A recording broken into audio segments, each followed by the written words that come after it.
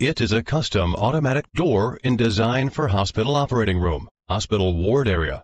Select high efficiency brushless DC motor with small size, large power, low noise and long life with good airtightness. The main function of the observation window is to facilitate people to see the general situation inside the door without having to open it. Hidden handle, integral arc over design, seamless no dead angle, easy to clean.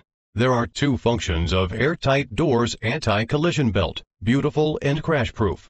Airtight doors have several different ways to open the door, such as foot sensor switch, sensor switch mode with several open the door favored by customers.